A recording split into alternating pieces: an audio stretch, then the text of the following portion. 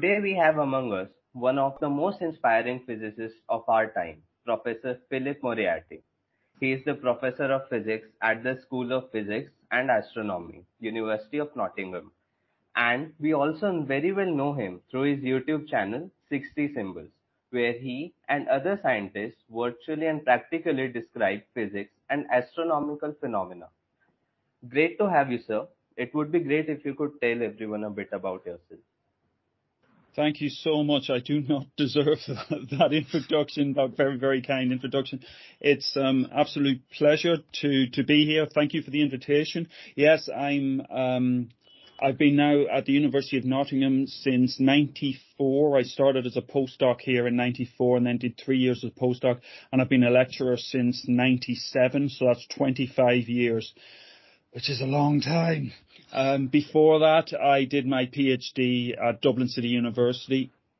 And I've always worked in my research has always worked um, or been involved with uh, surface science, nanoscience, imaging single atoms, single molecules, trying to push them around or pick them up, put them down, prod them, poke them, measure them in, in a variety of ways.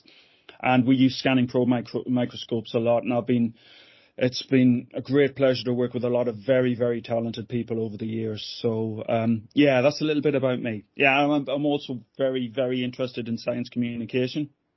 Um, and public engagement. I should just one point of clarification. 60 Symbols is most definitely not my channel. It's um, it's a collaboration between uh, School of Physics and Astronomy and a number of my colleagues um, and myself contribute to it. But it's really the brainchild of somebody called Brady Haran, who you probably know is behind not just 60 symbols, but Numberphile, Computerphile, uh, what else, periodic uh, videos, wide range of different channels. And it's a, uh, a pleasure and a challenge to work with Brady.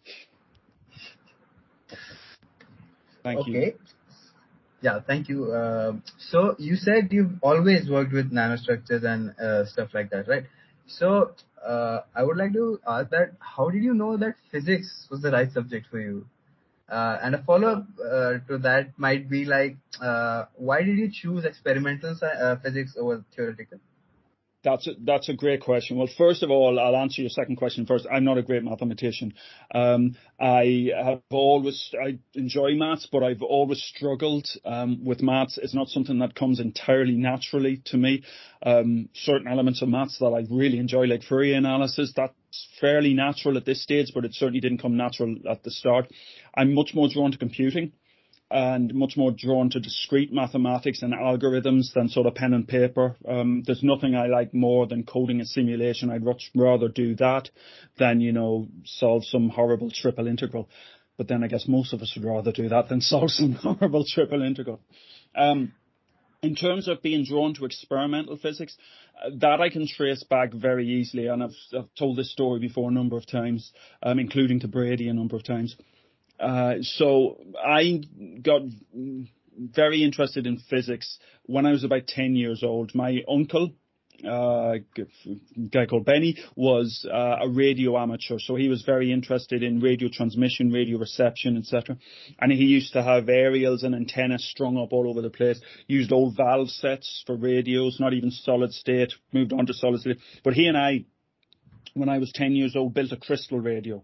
So a crystal radio is just four components, diode, a capacitor, an inductor, and headphones basically. That's it. And we, we didn't even have a circuit board as such. We had a piece of wood and we used drawing pins and we put the components together that way. And um, you put the headphones on, there's no power source, there's no battery and you, you hear a radio station. I was like, first of all, well, that's wow that you can hear a radio station. But then you think, well, where's the energy coming from? What's powering the headphones? And what's powering the headphones is the radio waves around us. So, and that, just mucking around with wires, mucking around with circuits, I spent a lot of time doing that as a kid. So I was naturally drawn towards the more experimental side of physics. I see. Uh, thank you for sharing that with us. Uh, I did not know about that. So uh, let, us get a little more into the, your physics side, right? Um, why nanostructures? Like, how did you? What what what was your journey to nanostructures? again, that that starts from a fairly early age. I got um, when I was about nine years old, nine or ten again. Um, I got a microscope um, as a Christmas present from my parents, and used to put stuff, you know, spit on stuff, and take bugs and put them on slides and look at those and try and zoom in. So I've always, I know a lot of people a lot of kids are drawn to sort of the you know, universal side of things, the galactic side of things. And I used to go out and look at stars and constellations as well, but I was always more drawn towards the teensy tiny stuff rather than the very big stuff. So more the quantum side of things than the sort of general relativity side of things. Let's put it that way.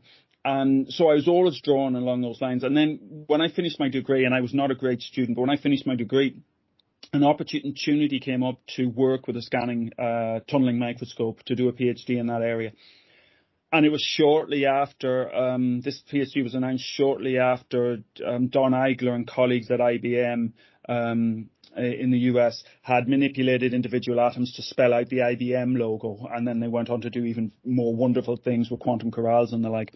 And I found that very inspiring. The idea that you can manipulate matter right down at the atomic level and push atoms around on a surface. So um, that's really why I got drawn into towards, towards that side of things uh, that's great. But uh, see, for me, uh, it's like uh, the small, the nanostructures things are, it's like uh, a little complicated to my uh, head, head, right? So how does one get to like, okay, no, this is what I like. This is, this, this is it. Uh, how did you get that? Where, where did you uh, jump through that confidence level? Yeah, this is what I like. I guess yeah, it's an interesting one. I just, I guess the thing that's always guided me, or the thing, rightly or wrongly, is do I find this interesting? And even if it's complicated, or maybe especially because it's complicated and I want to learn more, that that's how I get drawn down in that general direction. Um, in terms of yeah, it's difficult to get. It's always difficult to get, get your head around quantum stuff, but that's what makes it very very interesting. You know, if we know something, but you know, if we've if we knew everything, then there'd be no scientists at all be out of a job. So the fact that there are these open questions, particularly about quantum, I've always been drawn to quantum. In fact, I'm teaching a second year, one of our undergraduate modules called the Quantum World, and I've wanted to do that for quite some time, and I really, really enjoy that.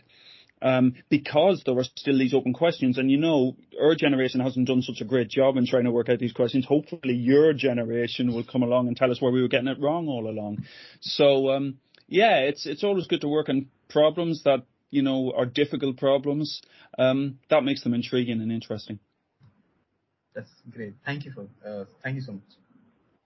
So just for the record, sir, only your generation inspires us sir, to do great things. yeah. So, sir, how did you know that your passion lies in research and teaching? Uh, that's a good question. I guess very early on in my PhD. So I did, I was, I'll be honest, um, as an undergraduate, I was not very good. I got very, I'm into music and I was in a band and I got very heavily distracted with, let's be honest, trying to be a rock star, which didn't work out. but it was a lot of fun. But I, particularly in the third year of my degree, I was spending a lot of time away from my studies. We were playing twice at the weekends, maybe a couple of times at the weekends. And I remember for my maths exam in third year, we had a gig. We had a um, yeah a gig um, as the band, which was in a place called uh, Donegal, which is quite a far away from um, where my home was. And I remember getting back in at three o'clock in the morning after that, and then getting on a bus to go to Dublin to do my maths exam which I didn't do particularly well in. So um, then in my fourth year, uh, my final year, of my degree, I the thing that really piqued my interest and the thing that really got me engaged was the final year project, which was actually well away from nanoscience. It was on medical imaging, um, computerized tomography and CAT scans. And um, that really gave me a kick in the behind and I started to get engaged and worked really, really hard in fourth year. And then when it got into my PhD, I would say within the first year of my PhD, I was thinking I want to have an academic career. I enjoy this. I enjoy the research side of things. I'm obsessive enough and um, stubborn enough to, to really want to pursue this. And um, that's that's really, you know, that's really how I, I how I got into the academic career. Um, largely because it was there's a great deal of independence. Um, I had a wonderful PhD supervisor who gave me a, a, great deal of independence and allowed me to sort of to pursue my own ideas. Obviously directed those ideas because some of those ideas were stupid, but um, he really gave me a lot of freedom and that's there's an awful lot to be said for having the independence to do what you want to do without a boss saying you should do this. Um, so that's that's really um, er, very early on in my PhD. I knew I wanted to be an academic. I don't know if that answers your question. that completely answers. Uh, so, so, so you just mentioned that uh, you wanted to be a rock star, right? So, uh, we we we have to talk about it now.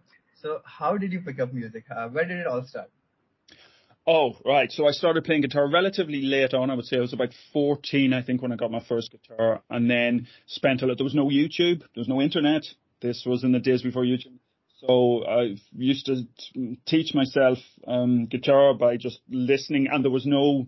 This was pre-CD, so cassettes, and I'd put the cassette or the record. I'd lift the needle up on the record and put it down, play it, put it down, play it, put it down, and um, uh, te- taught, taught myself that way by ear. Um, various different guitar sounds. I'm, I'm a big hard rock, big heavy metal fan. So started off with ACDC, then Iron Maiden, etc. Learning all um, that type of stuff. And then uh, as a covers band, that was the type of stuff we did. It was a huge amount of fun, and um, I still still very interested in music. I'm still trying to, you know, pick up a guitar as often as possible, but it's not as often as I'd like. But um, yeah, the, um, there are many. I love to bring a guitar into the lectures because there are many links, of course, between um, vibrations on a string, of course, and quantum mechanics. You know, particle in a box that you do.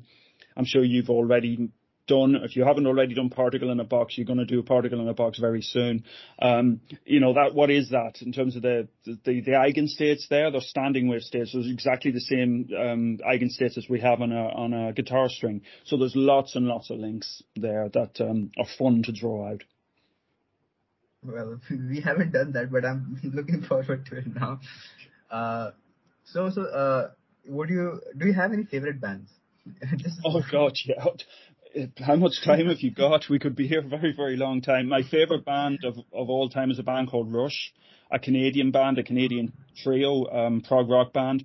Um, I'm uh, also a fan of a Swedish band called Opeth.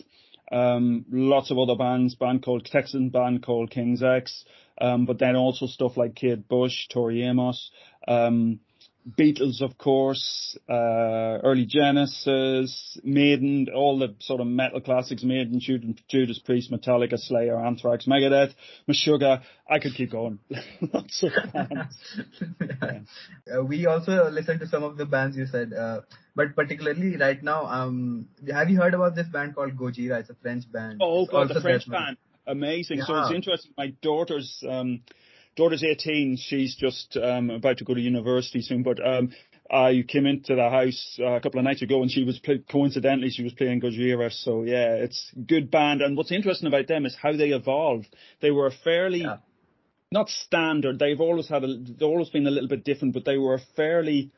Uh, I don't know. They weren't that unusual, but as they've evolved, they've um, over the past few years they're doing really really interesting things that are outside the mainstream of metal i would say so yeah great band really good band so coming back to physics a bit so which phenomena or effect in physics do you find the most intriguing uh, I think I've already mentioned this. Yeah, definitely uh, quantum mechanics. We don't understand. We still don't understand really what the wave function is. Um, is it telling us about reality out there, or is it telling us about our knowledge of reality? And those are two different things. Is there an out there? Is there a reality out there? And you know all the usual arguments about um, what quantum physics is telling us about the world. And the great thing, the thing, the reason I'm really drawn to it, and for me is a very visceral thing, and for anybody who's a scanning probe microscopist, like I, am, so we we see those waves. So I'll be later on this evening. Um, I'll be going into the lab or I'll be running the machine from from home remotely, and we image those electron waves. And you can set up, you can move atoms around, and you can set up confining potentials for for those waves. Um, you can do that particle in a box experiment. So it's a very when you see those waves rippling on a surface and you move the atoms and you see how the patterns of waves change, it's a very, very visceral thing. And it's a, something that becomes very real to you. So I find quantum mechanics in general um, fascinating, but then so so do many other physicists, all physicists probably.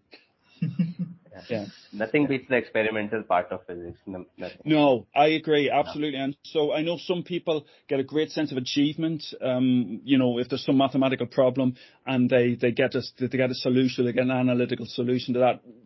That's okay. That's well and good. But really, it's when that connects to the real world, when you have an experiment that goes, you know, either uh, confirms what you've seen um, in terms of the analytical maths, or you know, you have a simulation that produce, gives you a prediction, and then your experiment um, confirms that prediction. That's science. That's that's the best. That really is the best. Yeah. Hundred percent agreed. Hundred percent. So so so uh, let's talk about let, let's talk a little little little, book, uh, little bit about your book now. Oh, thank you. Uh, yeah. yeah.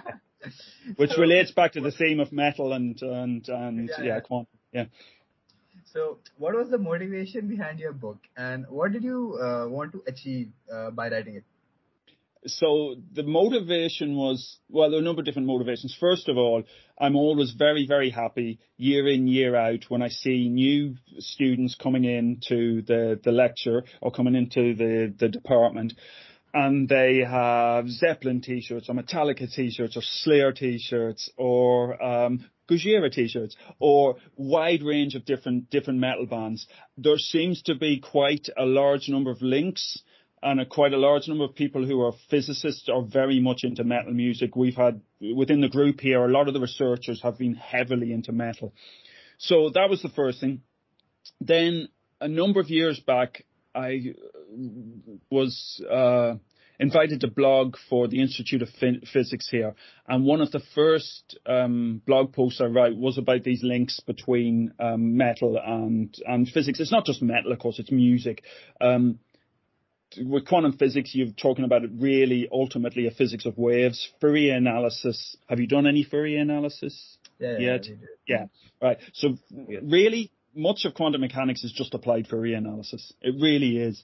Um, so it's waves, sines and cosines and phase differences and interference due to phase are absolutely core to quantum physics, of course, but they're also core, core to classical music in terms of how we, we make notes and, and sounds on instruments. So I, I wanted to bring those two things together. Metal is great because uh, as well as the sort of links in terms of musical notes. There are lots of things we do in metal, like pinched harmonics or the way we chug on a guitar, and all of these have different links to aspects of quantum physics. And I wrote this blog post, and then I thought, well, that's okay. That's a blog post. There's a few hundred words. It's an interesting idea, but I don't think it's got legs for a book. But then I got contacted by uh, um, an agent who was asking, have you got any ideas for books? And usually I just put those in the bin because usually I don't. And I said, okay, I haven't got ideas for academic book, but I have this idea for what could be a popular science book. And he was intrigued and he suggested I pursue it. So then I sat down and started thinking about it and, um, ended up with a whole load of different themes in terms of how you can relate quantum physics and, and metal, which was great because I love both. So it was a real pleasure to write that book.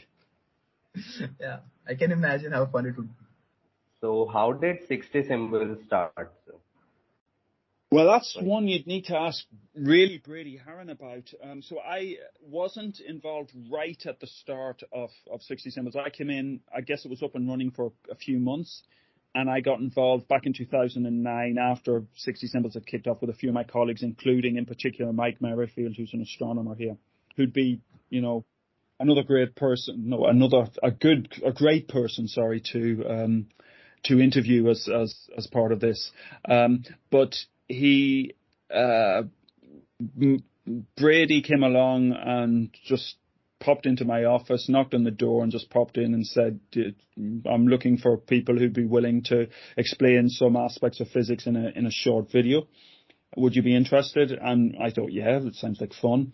And that's really how it kicked off. And the first one we did wasn't great definitely wasn't great. I can't remember. I think it was on the speed of light. You can find it. It's on 16, and it was it was not great, but it was a learning experience as we went on, found stuff that would work and stuff that didn't work. And what works best for me and Brady, at least, I don't think this is true for when he interacts with others in the school, but certainly me and Brady, it can be a little bit confrontational at times. That's possibly pushing it a little bit too much. But sometimes we have spats, and the ones I really like is where he and I are arguing about how should this go, how should we explain this, and he's, you know, Brady has told me when I've been in the middle of something that's shit.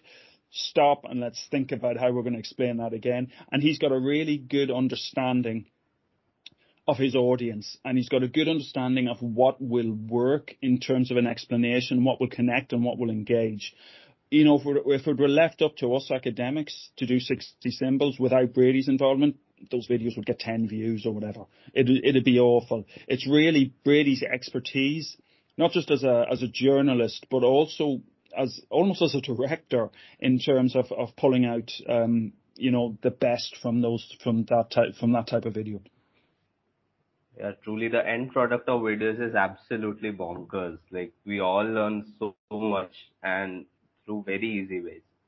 That's wonderful. That's really, really good to hear. I'll pass that on to all my colleagues here who are involved in 60 Symbols, but thank you for saying that's great. So, so, so I had a question. Like, you say you, like, it's a different style of uh, teaching than you would, explanation than you're accustomed to, right? So did that help you in like normal classes as well?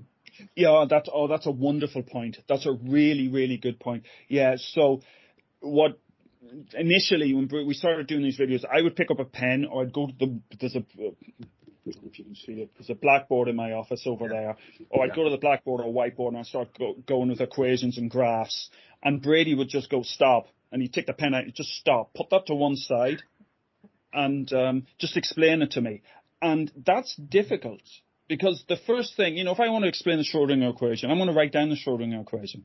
And I'm going to go, well, it's got these solutions, it's got these eigenstates, you know, if we're talking about a time independent Schrodinger equation, it's got these eigenstates. And that means nothing to somebody who has no training in physics or no background in, in science. That means absolutely nothing. So he forced me really to consider how to explain things in a much more using much better use of metaphors and analogies and to sort of think beyond the mathematics. As physicists, we're trained to use mathematics all the time, but to, to, put the mathematics to one side and think about how to how better to explain it. And then, interestingly, in terms of your point, that is really fed back into how I teach this stuff. Because obviously, in the undergraduate lecture theatre and in the undergraduate um, teaching, the maths is there. But what I want to do is try and bring that maths to life, to find better metaphors and analogies to bring that maths to life. So yeah, he has been, he's really played a key role in changing how I teach, definitely. Wonderful. So let's shift gears towards your career again. What were your career high points? Like, when did you feel at the top of the world? what a great question. So science, I would say, is a lot of. Um, so, for example, we've had a few months where it's been bloody miserable. Lots and lots of things have broken. We work in ultra high vacuum. We work at low temperatures, and so you spend a lot of your time fixing stuff, fixing ultra high vacuum leaks. If if a piece of equipment fails in an ultra high vacuum chamber, you have to bring the entire thing up air. You have to fix it. You have to then bring it back down again and you have to spend a lot of money on helium and you don't want that helium to just boil away with without doing something useful.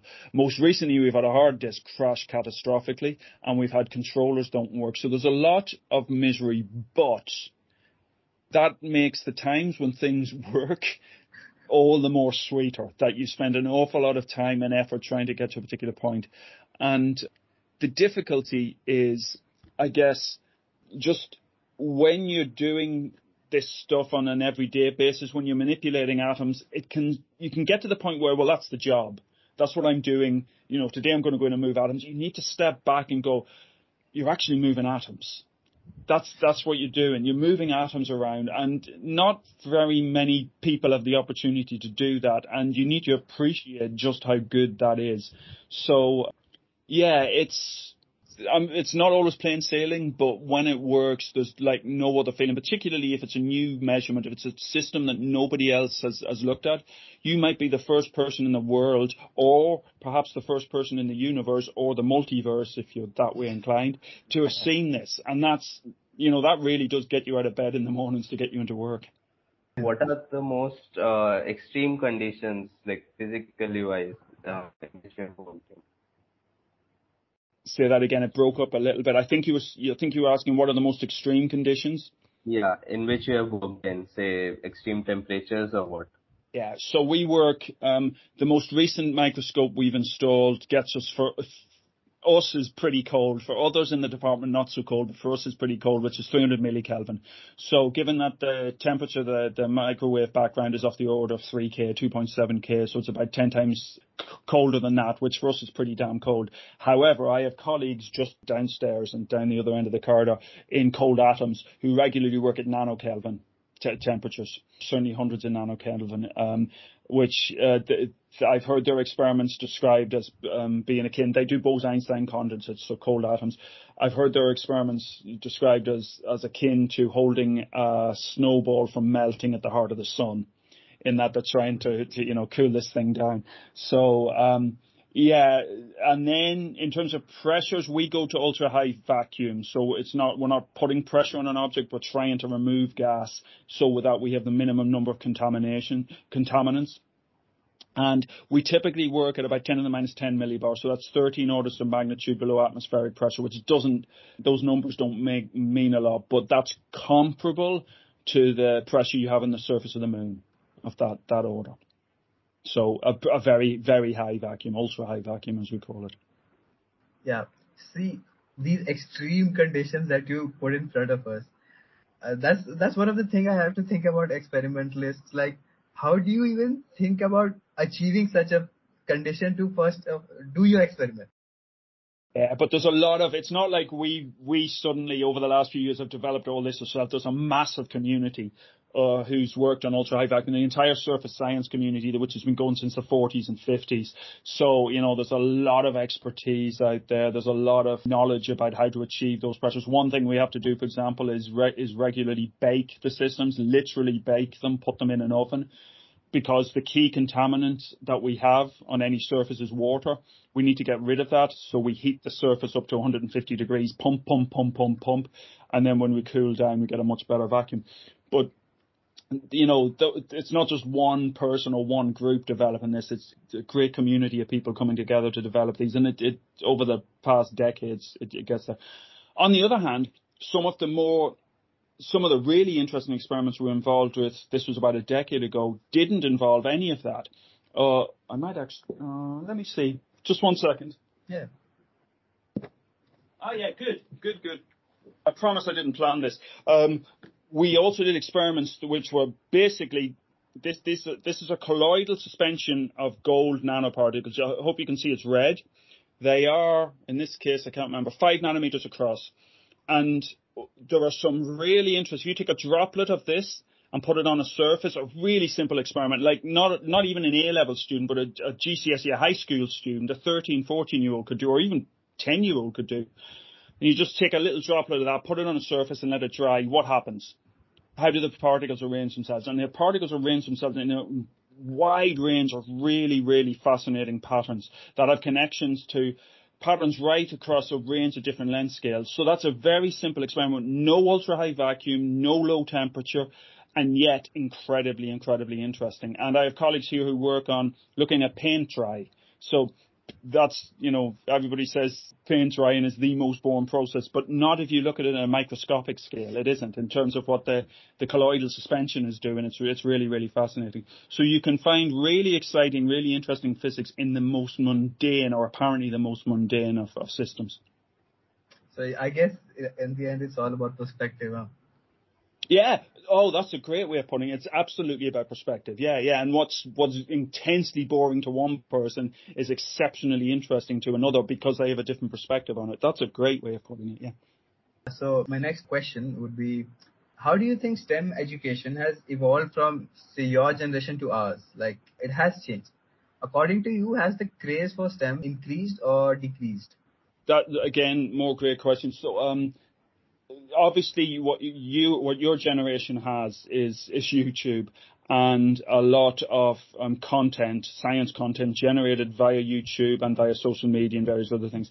And that largely has been great. I have some reservations because sometimes there's a real glossing over clickbait approach and an approach to science that sometimes is, oh wow, look at this, and then move on to the next thing.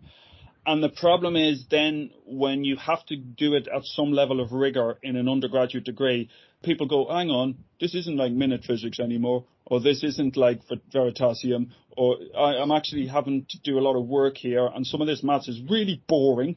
Uh, why can't we just have the explosions? So that's that's the concern I have. And um, the term that's used sometimes is edutainment, so a mixture of education and entertainment. And that has its place in terms of enthusing and inspiring and engaging people, but it's not the only thing. And, and students, I think, sometimes find it a little bit more difficult now when they actually have to do the subject a bit more rigorously and really get into it's not just the mathematics. It's you know sometimes doing an experiment it is exciting, but sometimes, you know, measuring over and over and over again is fairly tedious, but it has to be done. You know, it has to be done systematically. So there is that.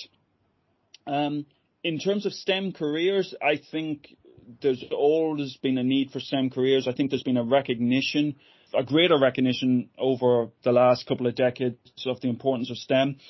I, you're probably going to think this is strange to hear from a physicist, but actually I would say that sometimes we overemphasize STEM over things like the arts and humanities.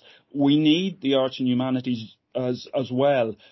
So, for example, you know, we need to be able to write. You need to be able to communicate. And I know an awful lot of physicists, including many of my tutees, pick their modules on the basis of how little writing do I have to do in this? They they try to choose the modules that involved as little writing as possible. But as a professional physicist, as I sometimes like to think I am, the majority of my time is spent on writing. It's spent on words, not maths. Because, you know, you're spending a lot of time writing grant proposals or writing papers or writing material for various different uh, sources. And as I've said, I spend a lot of time writing books, etc. So writing is a core part of what we do. So STEM is important, but so too are the arts and humanities. And, and we shouldn't, I hate this idea that we've got this battle between STEM and arts and humanities over here. And the other thing I hate, and I hear this an awful lot at, uh, in terms of, of school, high school, is that the arts and humanities are, are said to be the creative subjects and STEM is over here as if there isn't creativity involved in STEM. That drives me up the wall. So I, we need to bring arts and humanities and STEM together a lot more.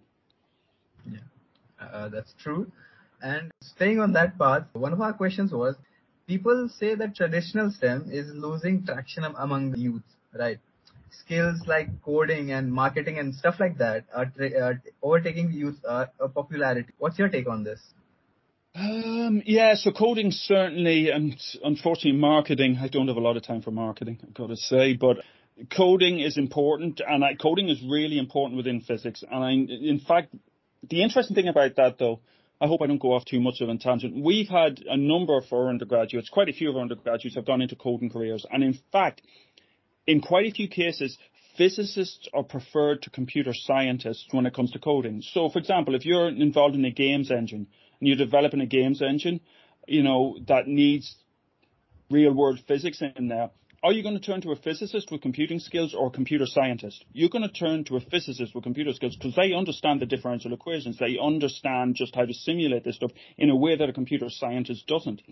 And so often, although those, you know, hardcore coding skills that you get in a computer science degree are important, physicists get an awful lot of coding in their degrees as, as well. And often that coding for certain companies and for certain industries is more important than the type of coding that comes out of a computer science degree. Now, I would say that because I'm a physicist and I'm sure computer scientists would argue precisely the opposite. But the evidence is there. We've had quite a few students go into coding careers uh, with physics degrees. So it's a question, it's interesting you raise marketing. I guess it's a question of how you sell yourself So, you know, you might have a physics degree and there might be a bias towards computing or whatever, but you can sell that degree in the context of computing, I think. Yeah. So, sir, if you were not an academician, who would you be? Uh, so I'd, uh, probably um, at the end of my degree, I was not even thinking about doing a PhD until this PhD involved with STM came up. And where I would have gone would be sound engineering. I, w- I wanted to move into sound engineering. In fact, if I ever retire, that's probably where I'll go back to. Um, I'm very interested in, in sound engineering, recording studios, the recording side of things. So that's probably where I'd have gone. Um, yeah, a uh, change. Uh, I had a short answer to one of your questions. no, that's completely fine. How do you think has the pandemic altered the ways in which research is done? In which research? Oh, so can I address that into a context of teaching first, and then yeah, we'll sure, get to. Sure. Yeah, that, uh, another great question. So, um, I think pandemic has changed teaching, and I think changed teaching for the better. And I hope that now we're sort of coming out the other side, though there's always issues with new variants, etc. And we never quite know when we're going to go back into lockdown again. But there were things that happened during the pandemic and the lockdowns that I really hope that we don't go, you know, that we keep on board. For example, I don't have a lot of time for the traditional lecture.